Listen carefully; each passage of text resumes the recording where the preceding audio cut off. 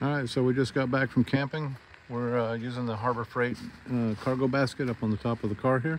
And as you can see, we just pulled in the driveway and it did phenomenal. It gave us a little bit of road noise, but nothing that we couldn't uh, tune out with some radio or talking. Uh, obviously, uh, you can see why it gave us some road noise.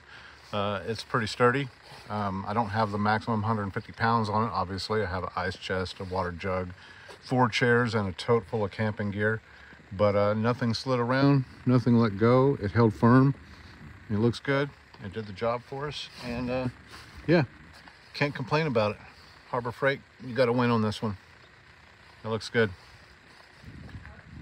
We're definitely impressed with it. There's my son. We just got back from camping. He's happy to be home. Who you on the call with? I'm on YouTube.